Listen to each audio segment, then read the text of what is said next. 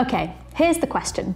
How are we going to double our electricity usage and make it totally clean? Net zero. Net zero. Net zero. Net zero. That's the plan, but what does it really mean? Because here's the thing our energy is responsible for about 75% of all of our greenhouse gas emissions, but our power consumption is actually expected to double by 2050. So, how do we do that without totally destroying the planet? To find out, I've been talking to lots of scientists and experts, and there is a lot.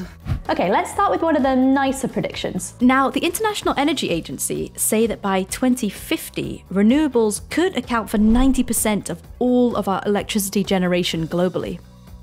Okay, that sounds promising. But to find out what that really means, down on the ground, I've come to a UK National Grid site where they're building tunnels to prepare for future energy demand. Before we go any further, right, what is the grid?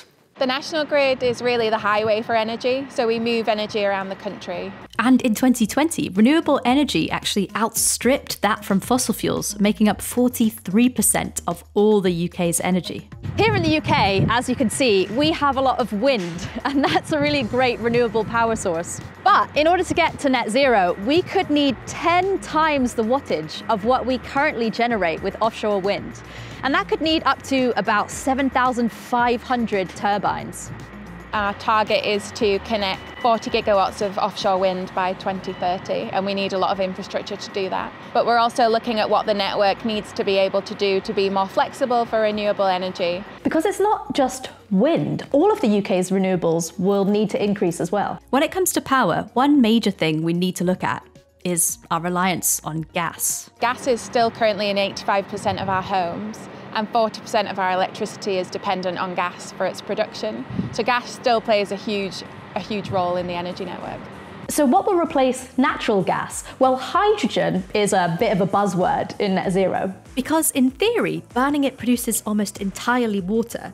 I mean, it can also produce nitrous oxides, which contribute to acid rain. But it doesn't produce any CO2, so largely it's considered clean energy. However, it all depends on where you get the hydrogen from hydrogen can be made in a number of different ways, uh, and not all of those ways are clean. So we could make hydrogen from natural gas, turning a fossil fuel into hydrogen. But if we make hydrogen from natural gas and capture the carbon that's emitted during that process, then it can be very much more clean.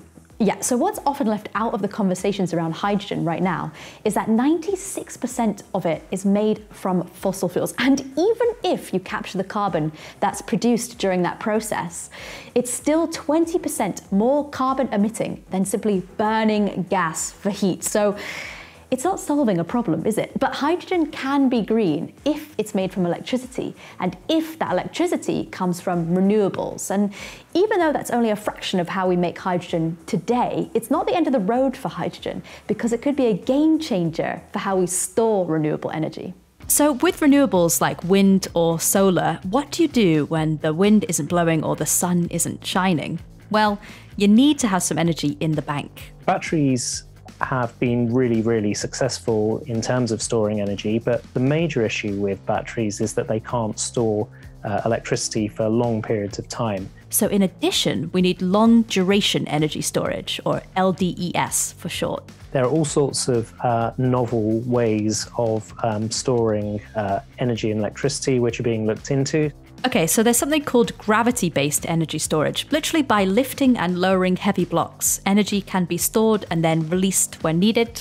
Another option is electrothermal storage, where energy is stored, for example, as molten salt, which can be used to power turbines in the same way as gas and coal. You can also convert energy into compressed air and store it underground.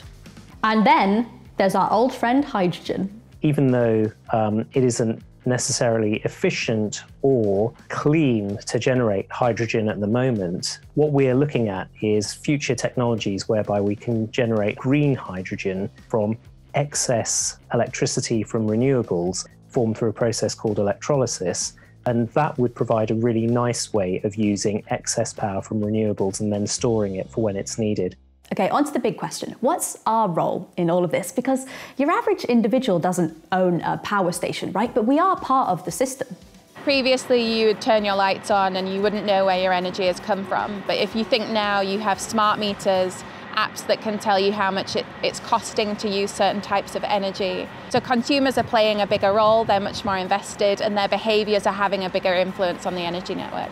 So, who's responsible for this change? Achieving net zero is going to have to be a mix of individuals taking responsibility for their own actions, but also recognizing that it's not going to happen if we just rely on that. There are going to have to be government policies and quite strong incentives. So there are some huge changes needed both inside the home and outside to reach net zero. But if everything goes well, we shouldn't feel a difference at home at all. Flick a switch and electricity should just flow.